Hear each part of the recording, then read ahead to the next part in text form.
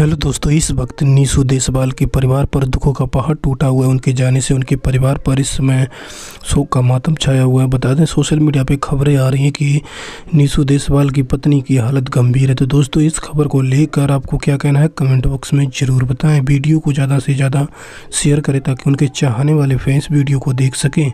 इस समय उनके परिवार पर दुखों का पहाड़ टूटा हुआ है। बता दें, काफ़ी फ़ेमस पॉपुलर स्टेंटमैन थे जो कि ट्रैक्टर पलटने की वजह से उनका निधन हो गया है। निधन की खबर पर उनके चाहने वाले फैंस को बड़ा ही गहरा झटका लगा। है उनके चाहने वाले फैंस को बड़ा ही शोक का मातम का सामना करना पड़ा। अगर आप इस दुख घड़ी में उनके परिवार के साथ हो तो कमेंट बॉक्स में उनके लिए चंद लाइन ज़रूर लिखें। ओम शांति लिखना ना भूलें ताकि उनकी आत्मा को शांति मिले।